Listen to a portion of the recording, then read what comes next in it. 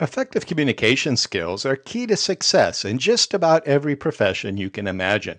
So, here's a quick overview of the six best tips in how to write business communications more effectively, as suggested by communication experts at the University of Chicago.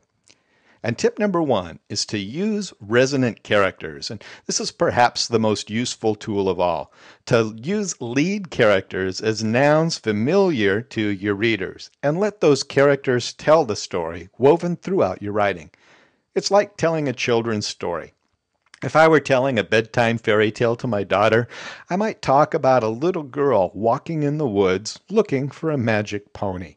And that might win her attention because the characters resonate with her. So, what if you were writing a memo for a company or a university or designing a new sales campaign? What characters would be resonant? Well, managers and workers would be good characters for a company memo.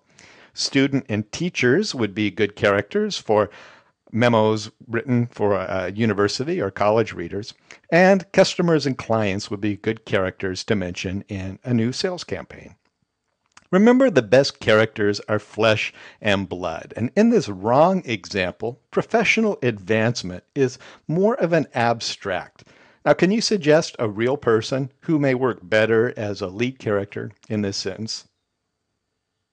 Well, how about managers achieve success through hard work? Managers are real people, somebody we could imagine going out to lunch with. Well, tip number two is to engage action verbs. And that's where we should use strong, active, visual verbs to propel your writing and your readers along. People like to see what is happening in their heads, and strong action verbs help to make this happen. Here's another wrong example. The memo is written well. Now, is is a rather weak verb, and memo isn't the best of characters. Remember, we should use flesh and blood characters in the lead role if, if at all possible. Now, can you think of a better character and verb we might use in this sentence?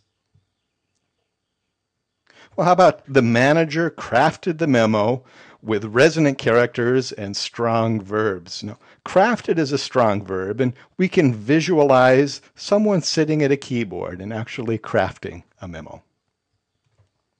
Well, tip number three is to perform the eight word test. And that's where we should keep our noun and our verb within eight words of each other. The closer, the better. Don't make your reader work too hard to keep track of who is doing what. And yet another wrong example. The manager responsible for the daily assignments and worker allocation charts in our department is sick today. Now, if you count, you'll see there are 13 words between the noun and the verb, and the verb is isn't really a very strong action word. So here's a better way to write that sentence. Our department manager called in sick today, so we are missing the daily assignments on the worker allocation charts. And here the character and the verb are right next to each other, so we know right away who is doing what. Tip number four is to link with explicit connectors. And that's where we should link complex sentences and phrases with connectors to help our readers navigate through the text so they can follow the flow of the writing smoothly and clearly see how the thoughts are joined together. Well, some, exa- uh, some effective connecting words are, for example, however, and therefore, and because. And they join sentences together so your reader knows without too much work that what you're saying now is connected to something else. Here's a wrong example. The manager didn't treat the workers well. Workers were poorly motivated and often quit. Now, we might guess that these two sentences are related to one another, but an effective con- connector will remove any doubt. Now, here's a better example. The manager mistreated the workers. Because of that, the workers suffered from poor motivation and often quit. And in this case, it's perfectly clear that the workers quit because of mismanagement. Tip number five is to lead our readers from old information to new information. And we can do that by establishing common ground in your message development, leading your readers from comfortable, familiar territory to new ground. And we create common ground through old, familiar information and shared experiences and common reference points. Now, people are frequently reluctant to try or learn something new. So rather than hit them right off with the new information, we work into it with something more comfortable and familiar. Now, once again, a wrong example. We will mix the new formula with the following steps. This will modify our old procedures. Now, rather than jumping right at our readers with new formulas and steps, we might try to work into it with a little common ground use this example. Our existing protocol calls for mixing the formula with established procedures. This new method will improve upon that in the following ways. And all it took was rearranging the paragraph a little so the reader begins the paragraph with some comfortable and familiar territory. Well, tip number six is to use a problem solution action paradigm. One of the most frequent problems I hear from student writers is I just don't know where to start. And there sits a blank screen with that mocking cursor just blinking and blinking. So here's a good framework to follow. Number one, frame the problem, which in this case we are losing valuable workers. And then pose a solution. Let's create a worker retention program. And finally, end with a call to action. So let's hire a consultancy for manager training next month. Now, if you use this framework, your message writes itself clearly and effectively. So here are the top six tips. Number one, use resonant characters, characters that will resonate with your reader. Two, engage action verbs that will propel your reader through the text. Number three, perform the eight word text test between nouns and verbs so it's clear who is doing what.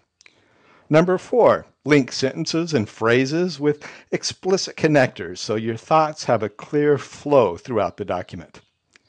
Number five, lead your readers from old to new information, first establishing common ground and share ex- shared experiences before moving into new territory. And number six, frame a problem, pose a solution, then call to action as an effective way to structure your writing. So let's try our new skills revising a sample of bad writing. And here it is. Developmental success for everyone within an organization from top to bottom and all steps in between is ensured when good work is encouraged among the frontline people. Those responsible for leadership will get more loyalty and harder work from their team members if they treat them well. Well, what a mess.